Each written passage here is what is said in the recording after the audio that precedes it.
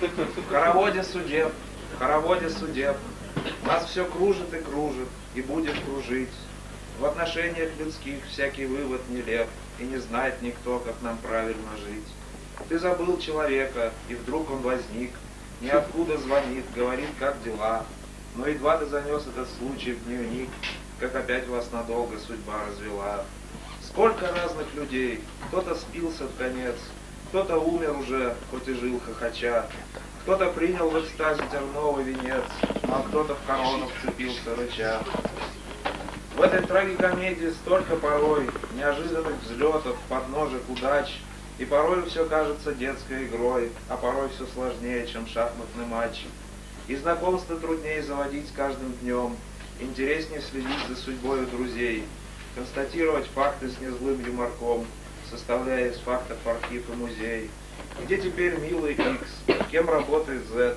Продала ли НН свой фальшивый алмаз? И остался ли Y, как прежде поэт? Интересно еще, интерес не угас. Сколько разных людей, ты кого-то любил, а кто-то тебя в трудный час выручал. Разве можно забыть нашей юности был? Не помочь, если друг твой от боли вскричал. Циники. Как пройдут наши дни? Где закончим мы их? И что будет, когда кувыркнемся во мглу? Кто погибнет во льдах, кто в песках золотых, кто пойдет подаяние просить, кто умрет в окружении красавицы слуг, а кто в дом престарелых из нас угодит. В самолет кто-то сядет, а тот рухнет вдруг, а кого-то в подъезде зарежет бандит.